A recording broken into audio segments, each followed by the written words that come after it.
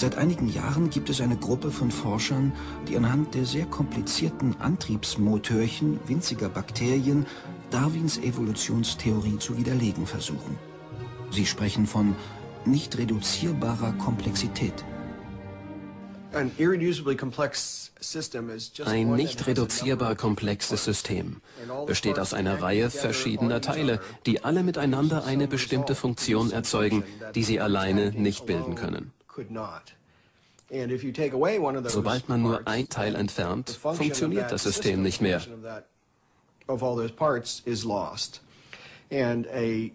Ein gutes Beispiel zur Illustration ist eine Mausefalle.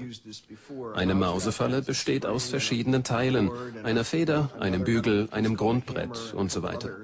Wenn man nun die Feder oder den Schlagbügel entfernt, hört die Falle auf zu funktionieren und man kann keine Mäuse mehr fangen. Es ist nur sehr schwer erklärbar, wie so ein nicht reduzierbar komplexes System in winzigen Schritten entstanden sein soll, so wie der von Darwin beschriebene Prozess es erfordert. Seine Evolutionskritik fasst Behe in dem Bestseller Darwins Blackbox zusammen. Darin formuliert der Wissenschaftler seine persönliche Lösung. Sie heißt Intelligent Design.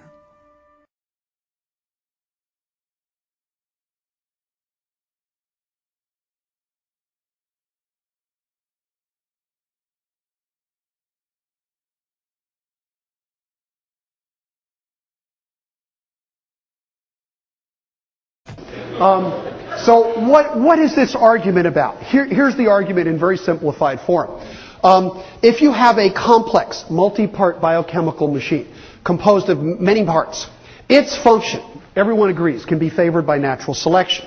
But the argument is that evolution can't produce them because the individual parts have no function of their own. That's what irreducible complexity means. So natural selection can't make this, doesn't have any function.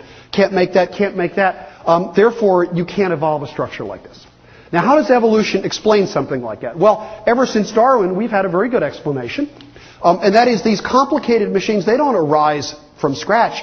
They arise from combinations of components that have different functions, functions of their own. And the components originate with functions of their own as well. Therefore, natural selection will work every step of the way. Now, that's not evidence, that's just an argument. But the beauty of this is we can now hold these two ideas up against each other.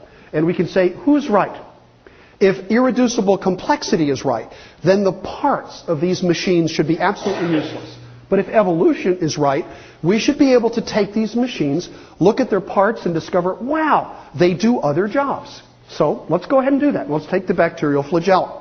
So if we start with the flagellum, here it is, and we say, let's take away a whole bunch of the parts. How many?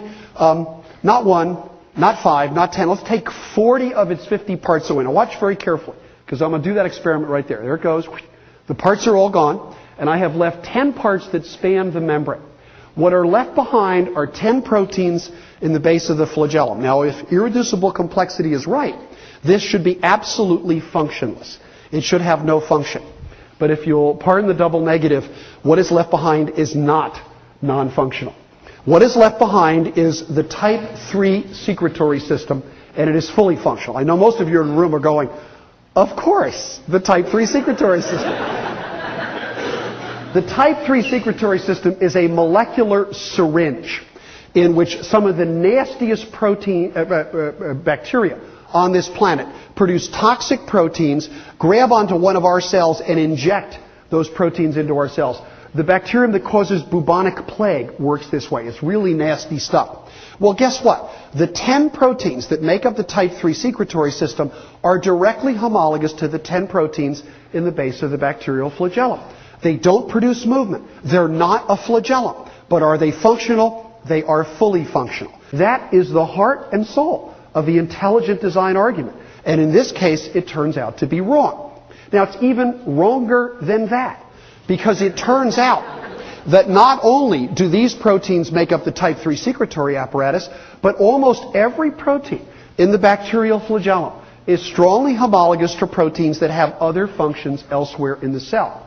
And what that means is when we look at this wonderful icon of intelligent design, a careful analysis of the flagellum actually matches evolutionary theory, namely the parts should have functions of their own and not the intelligent design prediction. And that's simply a fact.